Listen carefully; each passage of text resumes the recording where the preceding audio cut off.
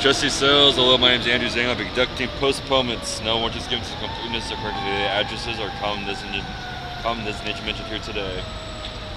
Postpone 2574 31st Avenue, San Francisco, 124 beneficiary request. Postpone 708 Crescent Avenue, San Francisco, 129 beneficiary request. And postpone 291 Wheeler Avenue, San Francisco, 128 beneficiary request. All right. That's it. See Okay, ya. take care.